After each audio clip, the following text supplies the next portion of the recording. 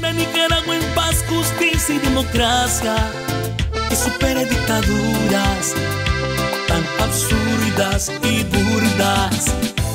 Que no me duela respirar. Un país tolerante en que tú puedas expresar y escoger tu futuro.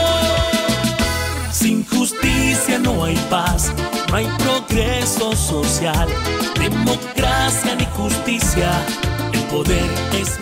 Hola, ¿qué tal amigos? ¿Cómo están? Sean bienvenidos a este espacio de noticias Voces en Libertad, el lugar donde convergen más de 70 periodistas y medios independientes de todo el país. Yo soy Lilibet Gutiérrez y voy a estarles acompañando a lo largo de esta edición. Les recuerdo estar ingresando a nuestro sitio web www.vocesenlibertad.com para que usted no se pierda nuestro contenido, el contenido de nuestros medios aliados. Sin más que agregar, empecemos con nuestras informaciones. El sindicalista Roberto González de la CST y los empleados despedidos de la alcaldía de León señalan a Gustavo Porras de los despidos masivos que se están realizando en esta municipalidad. Así lo vemos en el siguiente reporte de Radio Darío. Según Roberto González de la CST, Daniel Ortega le habría dicho, estamos en eso, referente a corregir los despidos recientes en la alcaldía de León. Sin embargo, la orden en la cúpula del FSLN para apartar a los empleados de esa municipalidad fue dada por Gustavo Porras, afirman los perjudicados. Con estos despidos se está enviando al trabajador y a su familia a morirse de hambre y eso no es andinismo, cuestionó el sindicalista. Despedir a un compañero trabajador sin causa justa mandarlo prácticamente a morirse de hambre. A él y a su familia, a él y a sus hijos, a ella y a su familia, a ella y a sus hijos. Los despedidos, en su mayoría militantes del FSLN, acusan a Gustavo Porras de estar detrás de los despidos en la municipalidad. ¿A quién vamos a recurrir?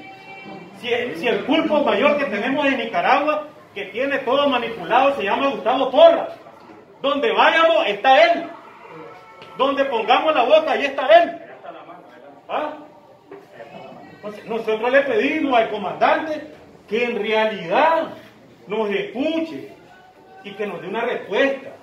Por su parte, Benito Méndez, una de las personas apartadas en la alcaldía, hizo un llamado a la corriente que lidera Daniel Ortega para intervenir en la comuna contra los atropellos y el estrés colectivo que asegura se ha generado en los empleados de la alcaldía que el comandante Daniel ponga coto a este asunto. Los trabajadores de la alcaldía, más de 600 trabajadores, están siendo, eh, tienen un estrés, colectivo de tanta situación de atropello que se están dando en la municipalidad de León. Jairo Pérez, trabajador de obras públicas despedido de forma reciente, aseguró que en enero pasado la alcaldía reclutó con contrato permanente a más de 300 trabajadores que estuvieron en los tranques y que ahora ocupan sus puestos. Hay personas ah, de, los 360 trabajadores que fueron, este, que fueron integrados como permanente en el mes de enero, ellos participaron en los tranques, participaron en los tranques y después del despido que nos hicieron a nosotros, ellos han ocupado nuestra plaza ahora cuando la alcaldía ha dicho de que el despido que ha habido, primeramente decían que era por tranque y ahora ellos dicen que es porque no hay estabilidad en la alcaldía. Roberto González envió un mensaje al edil Roger Gurdián sobre el comportamiento que tienen algunos funcionarios de la comuna. Si los que están afuera de la alcaldía son los que salieron a defender a Daniel y los que están adentro de la alcaldía son los que salieron a querer derrocar a Daniel.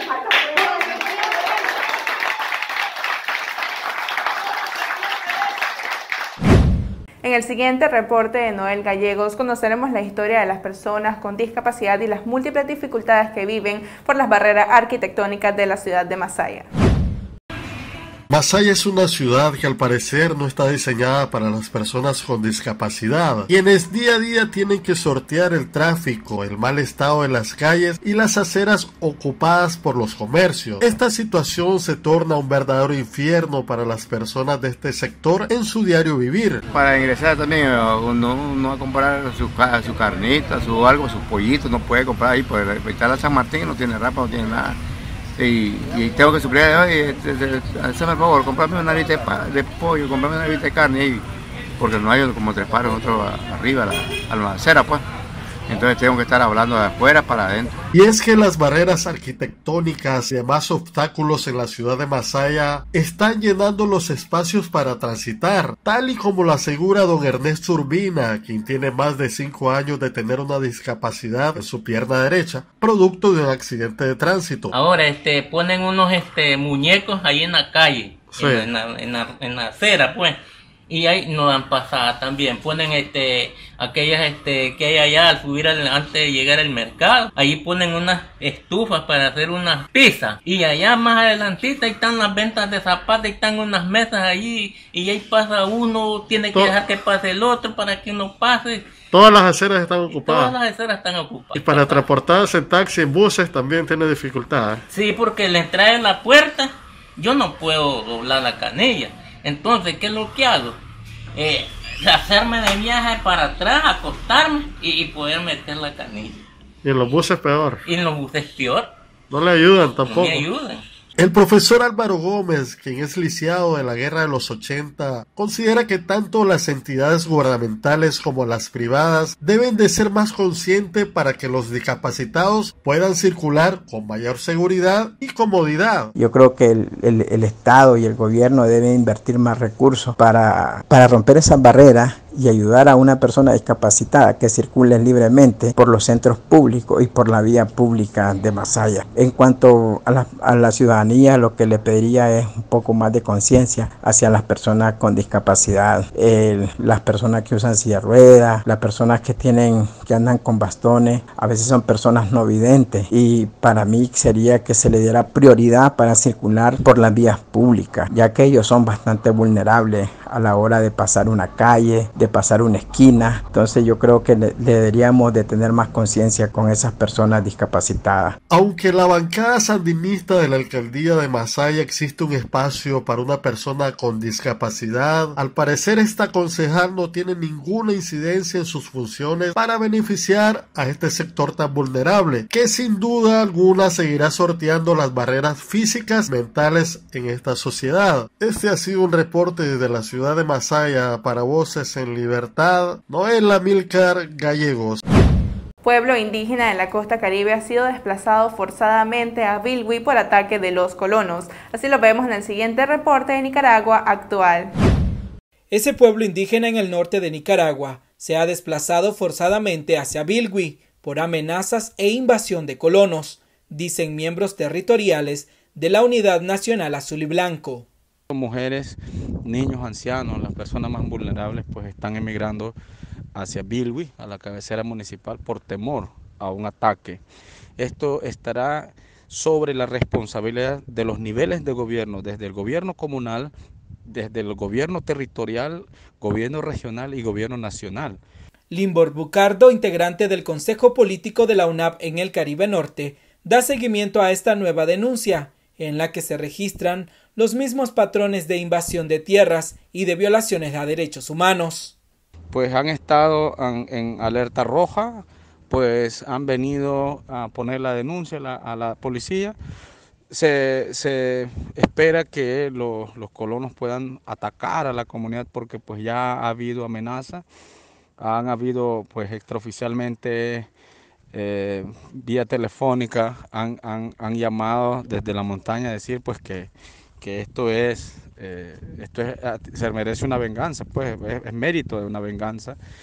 Los primeros en migrar del pueblo indígena de San Nilaya son niñas, niños, mujeres y ancianos en busca de seguridad, ya que han sido amenazados con el uso de armas y fuerza para desalojarlos de sus territorios.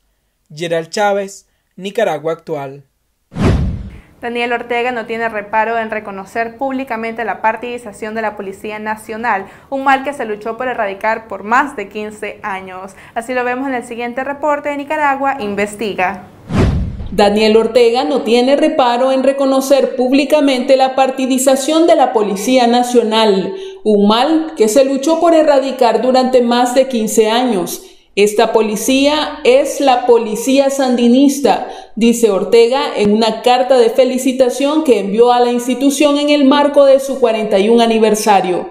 En la carta, Ortega dijo que la policía representa la continuidad histórica evolutiva de las instituciones revolucionarias.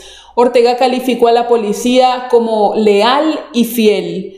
La institución del orden público fue sancionada este año por Estados Unidos, que determinó que fueron partícipes de la represión estatal entre el año 2018 y 2019.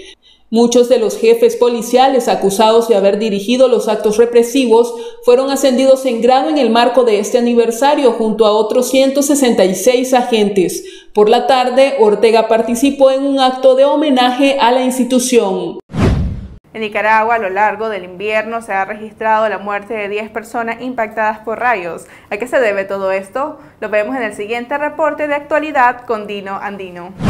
Desde el Centro Humboldt queremos dar algunas recomendaciones en relación a las últimas tormentas que se han estado presentando con descargas eléctricas. Las tormentas con, las descargas eléctricas son unos fenómenos meteorológicos que recientemente han estado despertando muchísima inquietud en la población ya que el momento nos están demostrando eh, bastante temor y preocupación. Recientemente hemos tenido muchísimas de estas precipitaciones con tormentas eléctricas y por eso queremos eh, darles a conocer las causas y, que se protejan de ellas, que puedan evitar eh, daños muy graves como la pérdida de su vida.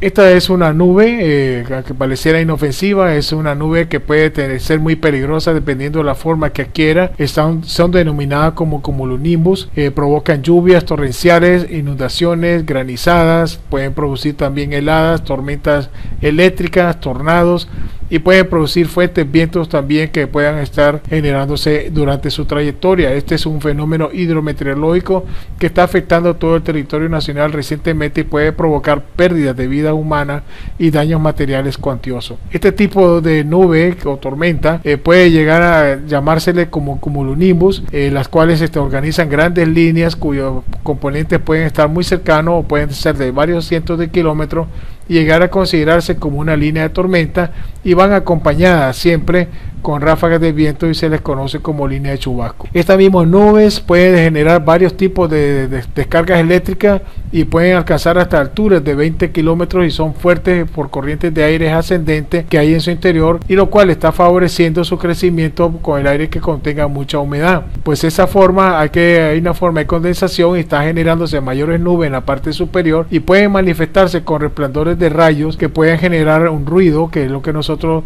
llamamos el trueno que, es cuando ya el rayo ha caído, y el relámpago es cuando vemos el destello que está presentándose, que es cuando el rayo ha impactado y posteriormente escuchamos lo que es el trueno. Tanto el rayo es una forma electrostática que puede resultar de la acumulación de cargas positivas y negativas dentro de una nube de la tormenta. Esta es la forma en que los rayos se están dando. Esta es la nube cumulonimbus. Tiene bastantes cargas positivas, vientos ascendentes, vientos y corrientes descendentes que se combinan con cargas positivas y negativas y generan las que son las condiciones de las descargas eléctricas y que pueden estar ocasionando lluvia fuerte durante las formaciones de estas nubes cumulonimbus. Son tres etapas que los rayos pueden darse, uno por el sol que calienta la superficie de la Tierra y a su vez este calor caliente del aire cercano. Y como ya explicábamos, el aire caliente es más ligero y tiene menos densidad que el aire frío, por lo que sube y provoca corrientes de aire ascendente. Y además, así este aire húmedo puede llegar a producir también bastantes nubes que son las que llamamos los cúmulos y mientras siga habiendo más cantidades de aire cálido ascendiente va creciendo cada día más y entonces va generándose a lo que podría ser la nube cumulonimbus que es la madre de las nubes. Los rayos se pueden formar en una forma imprevista debido a las combinaciones de las cargas pueden afectar en, tanto en el mar como dentro de las ciudades o en el campo rural y es importante diferenciar que las precauciones que deben de tomarse son muy necesarias para evitar que tengamos estos impactos de estos rayos y hay que tener en cuenta la las recomendaciones que se dan los, que dan los meteorólogos, eh, también las horas en que se indica que pueden estar presentes estas posibles lluvias y evitar tener actividades al aire libre en estos eh, lapsos de tiempo que se están pronosticando de posibilidades de lluvias con tormenta eléctrica y también evitar permanecer en lugares eh, donde esté una tormenta eléctrica, no correr con ropa húmeda y mucho menos estar utilizando equipos de teléfono celular, otro equipo electrónico y más bien mantenerse, mantenerlos apagados para evitar tener estos impactos de estos rayos, los cuales son imprevistos ya que no se pueden llegar a predecir y recuerden que es una descarga eléctrica de muchos tajes que puede llegar a ustedes a ocasionarle hasta la muerte. Los riesgos asociados a estos rayos, estar en lugares totalmente despejados que aunque no haya lluvia, produce los rayos en seco, que son estas nubes como los nimbus, que producen rayos descargas en seco, que aunque no esté lloviendo, sí hay condiciones óptimas de posibles descarga eléctrica y no estar circulando en el momento que tengamos una fuerte lluvia, circular mojado en, en piso o mojado ya que pueden producirse algunas descargas y tener pues, sencillamente alguna posibilidad de fallecer inmediatamente. Debemos de buscar lugares más seguros para que podamos tener condiciones más favorables de protegernos de estas descargas eléctricas. Hay que evitar desconectar también los equipos electrónicos al momento que tengamos una tormenta eléctrica hay que hacerlo anticipadamente estar no usando ninguno de estos equipos no estar viendo televisión no estar utilizando eh, teléfonos celulares hay que apagarlos recuerde que la protección frente a los rayos y tormentas eléctricas depende propiamente de cada uno de nosotros y debemos de evitar estar eh, partes altas, estructuras metálicas, árboles, evitar estar en contacto con el agua, evitemos estar cerca de los árboles, estar recorriendo que mojado, estar en lugares amplios donde podemos tener algunas posibilidades de descarga y evitar cualquier contacto con cuerpos de agua ríos o lago, mar o piscinas. Busquemos cómo protegernos lo más pronto posible ante las tormentas eléctricas. Hemos llegado al final de nuestras informaciones. Gracias a todos ustedes por estarnos acompañando en esta edición. Les recuerdo esté visitando nuestras diferentes plataformas digitales. Nos encuentra en Facebook, Instagram, Twitter y YouTube. Así como también invitarlos a que se suscriban a nuestro canal de YouTube, active la campana de notificaciones para que usted no se pierda nuestros videos y siempre se mantenga informado. Le reiteramos, tome todas las medidas preventivas frente al coronavirus y que nuestro deber es informar y su derecho es estar informado. Hasta la próxima. Una Nicaragua en paz, justicia y democracia que supere dictaduras tan absurdas y burdas que no me duela respirar. Un país tolerante en que tú puedas expresar y escoger tu futuro. Sin justicia no hay paz, no hay progreso social democracia ni justicia, el poder es mi voz.